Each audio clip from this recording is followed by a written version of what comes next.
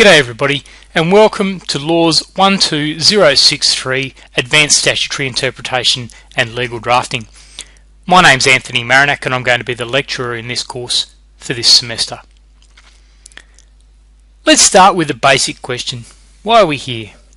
Why are we forcing you to do a legal drafting subject at the end of your degree? Well, there's a number of reasons. First up, you might remember back in first year you would have done a subject where you spent most of your time doing statutory interpretation. These days the subject is actually called statutory interpretation. It was probably called Intro to Law B when you went through a couple of years ago. While you were doing that subject, you would have been introduced to the skills you needed as a student in order to be able to successfully read cases and successfully interpret statutes. Without those skills, you wouldn't have been able to make your way through the rest of your degree. Nowadays, we accept that you've gotten this far, so you must know a little bit of a thing or two about how to read cases and how to um, interpret statutes. But it's time now for us to take those skills and advance them to the professional level. You see, fundamentally, the law is made up of words. And we as legal professionals are meant to be expert users of language. And the purpose of this course is to take you from where you are at the moment and make you an expert user of language. Some of you may well be expert users of language already. Others of you may find yourselves quite surprised at how much you take away from this course. The reason we've included this course in the degree is basically because the profession has said we have to. Firms who are hiring our graduates and the Legal Practitioner Admission Board in each state have both told the universities throughout Australia that our law graduates are going out into the field without having had sufficient expertise in statutory interpretation and in legal drafting. Now, here at Central Queensland Uni, we want you to be among the best law graduates when you go out into the field. And what that means is that when the profession is telling us that law graduates need to improve certain skills, we want to make sure that you go out the door with those skills in hand. The way that we're going to approach statutory interpretation in this course is that I figure in first year you've already had a go at approaching statutory interpretation as a reader. We want to take it further. So for this course, we're going to put ourselves in the position of a legal draftsperson. We're going to think about how to interpret statute by thinking about how we would write statute. This allows us to practice the skills of statutory interpretation and at the same time develop high quality legal drafting skills. Why am I the person to teach this to you? Well, during the period 2004 to 2007, I was a senior officer in the Australian Senate.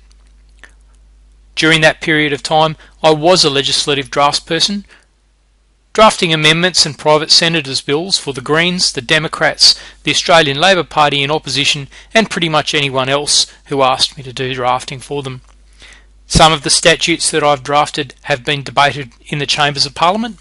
Some of the statutes that I've drafted have made their way into the statute book as law. So I guess you can say that I've done this stuff for real. It excites me and I hope by the end of the semester it excites you too. So let's get underway. During this first lecture, we're not going to draft anything. Not a thing, not a sausage. One of the biggest mistakes that people make as soon as they get a new drafting exercise, whether it's a will, a contract, a statute, whatever it might be, is that they pull open a new document on their word processor and they start thinking about what they want to type. No, no, no. Before you can successfully write anything, you must spend time in preparation. So before we start drafting statute in this course, we need to spend some time talking about how we're going to prepare. Starting with the most basic question of all. What's the proposed legislation trying to do? If you think about it, every law that you've come across, with almost no exceptions, every law that you've come across in your studies as a law student will have tried to do one of three things. First, it might have tried to prevent something negative from happening, what we describe as a mischief. Second, it might have tried to manage a risk.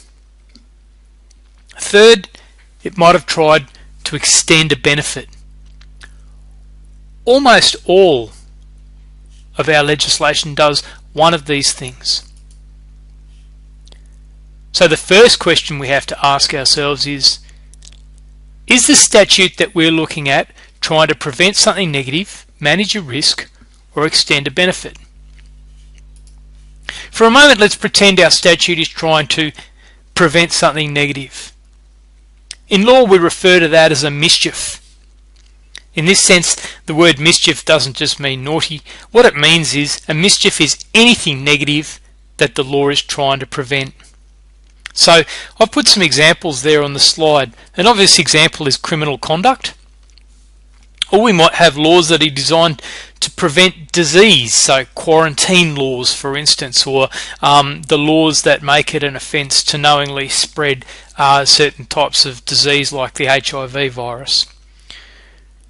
We might see child obesity as a mischief that we might be passing laws um, to prevent, such as, for instance, laws about when certain types of food might be advertised on the television. Reducing traffic in the CBD, the traffic is the mischief, and we might reduce traffic by changing parking arrangements or by imposing fees for the use of the CBD. Climate change is a mischief that the law might seek to prevent by imposing regulations on the use of renewable energy, for instance. Divorce might be a mischief. It might be that, for instance, um, the requirements of marriage are changed so that married couples have less frequency of getting divorced. Um, the requirement to wait a period of one month between applying to marry and marrying might be uh, might be regarded as a law which was created to try and reduce the mischief of divorce. Now, of course, when we're talking about making laws, we're inherently talking about political activities. And there's some things that one political party or one group within society will see as a mischief that another group will not see as a mischief at all. A great example is gun control. If we look at the uh, the knots the United States of America is tying itself into at the moment about gun control, we can see that there is a great proportion of Americans who see private ownership of automatic firearms as a mischief. And there's also a great proportion of Americans who see private ownership of automatic firearms as a fundamental and basic constitutional right. So it's quite likely that people within society are not going to agree on whether something is a mischief or not. But whether we agree or not, we still should be able to look at a piece of legis legislation and say, ah, here is the mischief that that legislation is trying to prevent. The second thing legislation might try to do is manage a risk. Now, a risk is kind of like a mischief, but it hasn't actually occurred yet. With a mischief, we know it's there, we know it's happening. With a risk, we don't know that it's happening just as yet. We're trying to stop it from happening in the first place. Best example there is road safety legislation. Now, we don't know that road accidents are going to occur. In an ideal world, no road accidents would occur. When we build a new road, and a speed limit is set over that road. The intention in setting that speed limit is to manage the risk of motor vehicle collisions. I've got some other examples there. Quarantine programs are inherently a risk management exercise. When people bring goods in from overseas, those goods are examined in order to try and reduce the risk of foreign parasites or foreign bacteria being brought into Australia.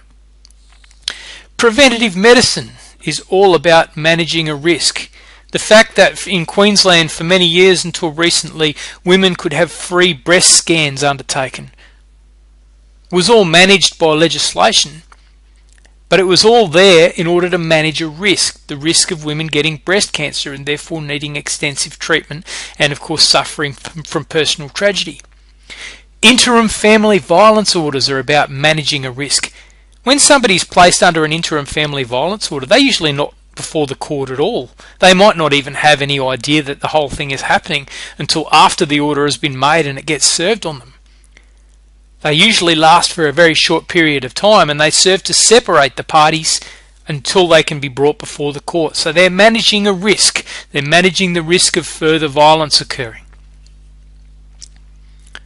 The third type of legislation is legislation that maximises a benefit. This is a circumstance where the Parliament has said, here is some, something that we want to help, and we're going to pass legislation which will assist. Education programs are a great example. Recently, we've seen discussions between the, Commonwealth Government and the states about education funding. Now, this, of course, may require legislative change in order to implement the programs that are part of that funding. The idea of increasing the benefits associated with, with uh, education would provide the basis for legislation maximising a benefit. Strangely enough, though, it's pretty difficult to tell the difference between legislation maximising a benefit and legislation minimising a mischief. You see, let's say we had a new piece of legislation which was targeted at child obesity. And let's say that the upshot of that was that every child in Australia was going to be given a $1,000 voucher each year, which would enable them to pay membership fees and purchase equipment to enable the child to play organised sport. Now, is this a piece of legislation that is intended to maximise the benefit of having a healthy population? Or is this a piece of legislation designed to minimise the mischief of childhood obesity. They're two sides of the one coin. So what I'm saying here is don't get too locked up in the idea that a piece of legislation is going to do only one of these things or that it can only be characterized in one way. But you are going to have to think before you start drafting about what your approach is going to be. Do you see this as a piece of legislation maximizing a benefit or minimizing a mischief? How is that going to change the way in which you structure the leg- legislation and place legal obligations upon those who are required to obey the law that you're drafting? Once you've got that basic idea in your head, you know what the law in general is supposed to accomplish. The next thing you're going to have to do is a whole bunch of reading. You see, it's very rare in these days for a new piece of law to be able to stand on its own. Inevitably, a new statute will become part of a, a web of other statutes. It will affect and will be affected by statutes in all sorts of places um, in the statute book. So, in order to understand what your new piece of legislation is going to do, you're going to have to go into the statute book and say, what other legislation is similar? What other legislation operates in this area? what other legislation should I be reading in order to understand what sort of impact I'm going to have on um, the rest of the statute book. Let's take an example. Let's say you were re required to draft a new piece of legislation making it unlawful to discriminate against people with a disability. Now I know that there's already legislation that says it's unlawful to discriminate against people with a disability, but go with me here anyway. In order to write that, you would want to spend some time first saying what other legislation out there on the statute book already relates to people with a disability. What other legal obligations is the community already under in relation to people with a disability? You might then also say, what other discrimination legislation is there out there? because we want to try and make sure that our new piece of discrimination legislation fits in with the rest of the scheme out there. Once you've identified the statutes, you might also then be asking, what is there in the common law? Are there any common law uh, principles of law that I ought to be taking note of here? Have there been any key cases interpreting some of these statutes that I've been looking at? What has the High Court said about those statutes and the way they operate? What do I need to know in order to ensure that my new statute does not have a significant impact on the rest of the law being an impact that I wasn't expecting to have. By the time you come to write a new piece of statute, you should have reached a point of expertise about the surrounding law. I once had a discussion with a senator who asked me to draft a piece of legislation relating to immigration. It was a very short piece of legislation in the end, only three or four paragraphs.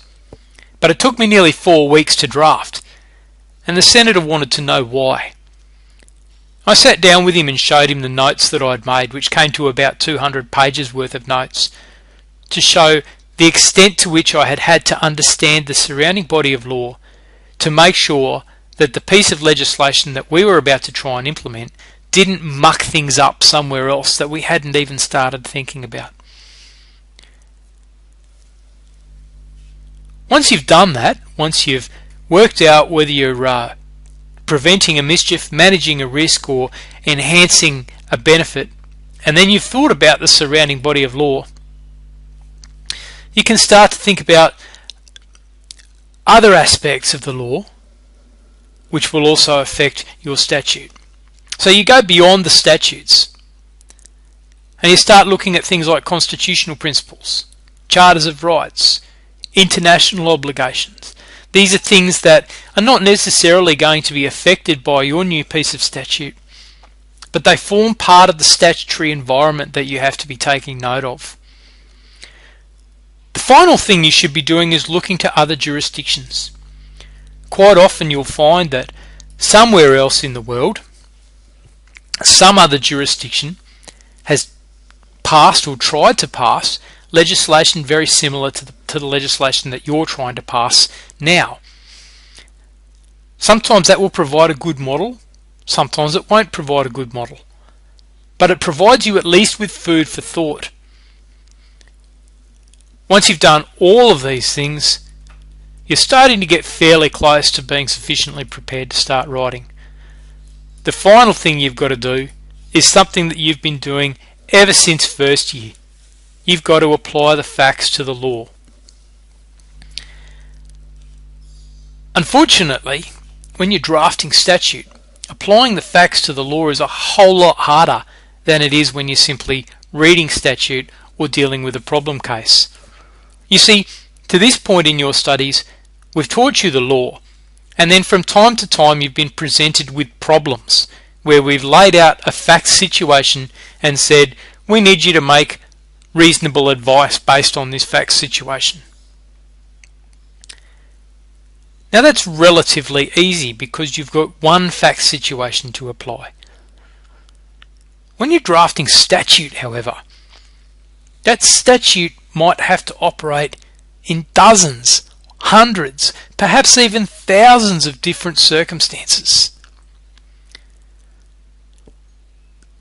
You might write a law that is going to operate absolutely perfectly in exactly the circumstances that you're expecting and might not operate in a sensible way at all if something happens that makes you uh, that that if something happens that was outside your expectations when you first started drafting. Let me give you an example. It's one of the, my favorite examples that I use uh, um, in various contexts. A long time ago, I think late 1970s, the sport of powerlifting was um, very popular. And there was a, uh, a powerlifting champion who had got into powerlifting after he had um, lost both of his legs in a car accident. So powerlifting is essentially bench pressing, but bench pressing very heavy weights. And this powerlifting competitor wanted to compete at an elite level against people who um, were not amputees. Initially, he wasn't able to do so because one of the rules of that elite level competition was that every competitor had to be wearing approved gym shoes. This competitor, of course, couldn't wear gym shoes for the very simple reason that he didn't have any feet. You can see there there's a situation where a rule has been written with certain fact situations in mind, and there just hasn't been any thought given to what fact situations might emerge outside those expectations. So once you've started to come up with a legislative scheme, what you really need to do is run a whole bunch of different fact scenarios from the very likely to the very unlikely and ask yourself how would the law apply in each of these scenarios? You might start to see very quickly that the law which looked good on first uh, uh on your first planning is actually going to be inadequate. Start asking yourself, how would this law operate if the people who are subject to the law didn't speak English as a first language. Does this law require things like internet access? And how do people obey it if they don't have internet access? What are the costs of compliance going to be for this law and are they reasonable? What are people going to do if they struggle to comply? You can see that by running different fact scenarios, you start to suddenly realize that the law needs to be chipped and changed in order to make it operate across a broader range of circumstances. Once you've done those three things, you've worked out the purpose of the law, you've taken sufficient time to look at the surrounding body of law, and then you've applied the facts to the law, you're pretty much ready to start writing. And that's what we're going to be doing next week. There's a couple of other things I want to talk about before we finish up this week, though. The first one is I'd like to talk about precedents and pro formas. Some of you have probably worked in legal firms already, either doing some um, work experience or internship, or you may uh, have been already working as a paralegal or in some other similar role um, before getting to this point in your studies. If you've done that, then you're probably listening to the first part of this lecture thinking, look, all this is well and good, Anthony, but nobody actually writes things from scratch. Everybody goes, where's our pro forma for this? And people take those pro formas, they adjust them according to the circumstances, and that's how they draft legal documentation. So, for instance, if you're working in a firm and you're asked to draft a will, you're not necessarily going to draft a will from scratch. You're going to start with the firm's basic wills pro forma and then you're going to amend it according to the instructions of your client. I want to start by saying I know, I know how that works. And I know that um, not only do private firms have their own precedents, but there's also some excellent, some really excellent precedent guides and precedent books out there. For the purpose of this course, though, I want you to ignore them. It's almost like having that conversation that you, you might have had with your own kids or with your parents when you were at high school, where the kid says, I don't really need to learn my times tables because I can just use a calculator. Well, Yes, you can use a calculator, but you can use a calculator far more effectively if you have the basic skills in hand yourself.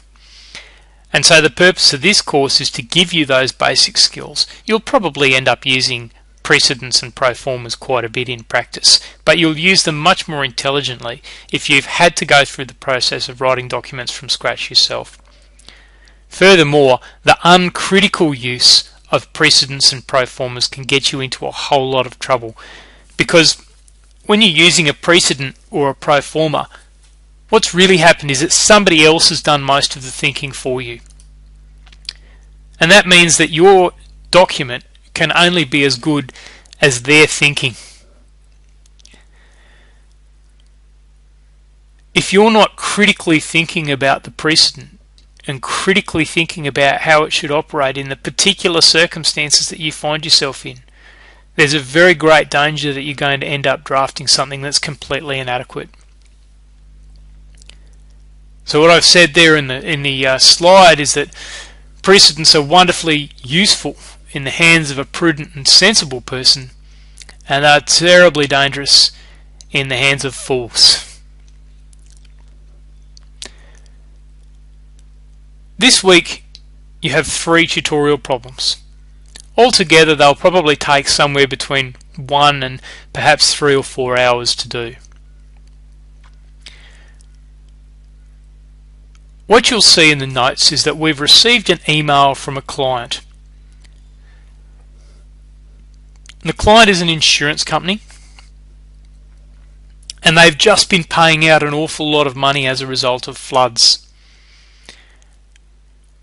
One of the things that they want to stop is paying out money for people who lose motor vehicles because those people were stupid enough to drive into floodwaters. And what they're asking for is for your firm to draft legislation which would make it an offence to drive a motor vehicle into floodwaters. Now, I don't actually want you at this stage to start drafting that legislation. What I would like you to do is first respond to the client's email. Now, when you're responding to the client's email, what I want you to do is show me that you have undertaken that preparation process. Show me that you understand the client's objective. Show me that you've done some research and that you've assessed the surrounding body of law.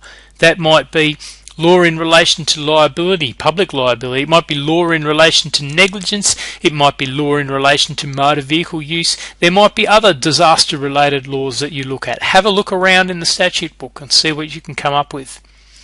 And finally, I'd like you to show some idea of how what, what statutory changes might be necessary in order to bring this about.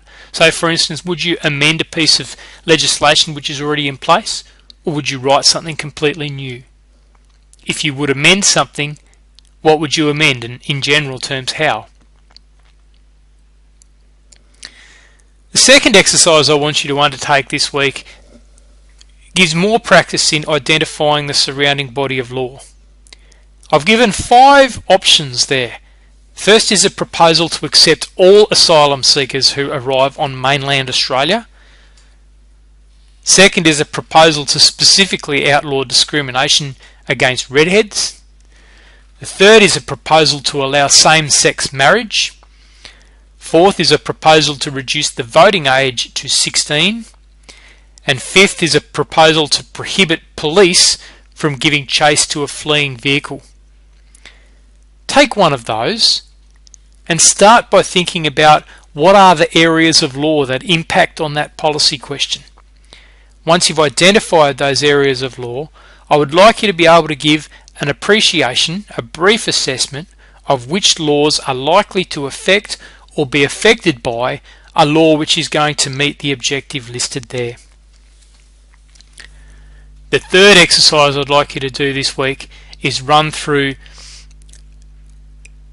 one of the provisions listed. I've got a provision from the Neighbourhood Disputes Resolution Act, one from the Environment Protection and Biodiversity Conservation Act, one from the Witness Protection Act, one from the Defence Act, and one from the Food Act.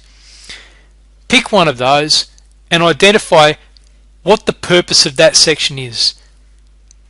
Does it prevent a mischief? Does it manage a risk? Does it maximize a benefit?